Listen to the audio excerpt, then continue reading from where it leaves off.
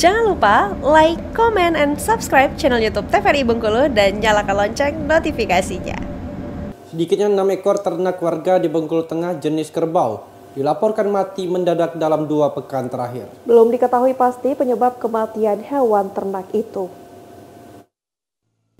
Sebanyak enam ekor kerbau milik Arianto, warga Tanjung Terdana, Bengkulu Tengah, mati mendadak dua pekan terakhir. Belum diketahui pasti penyebab kematian ini. Pemilik mengatakan jika ternak diketahui mengalami lemas sebelum akhirnya mati.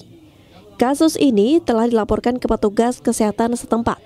Kerbau diketahui mati saat mencari makan di lapangan terbuka. Ciri-cirinya lemas lah. Lemas.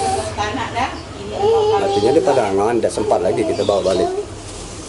Itu gejalanya cuma dari itu belum ada dari dokternya belum ada ya hewan. Belum ada, Pak. Belum ada ketentuan atau ininya.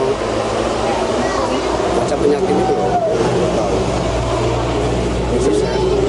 Sebelumnya ada kasus yang sama? Belum ada. Belum ada ya.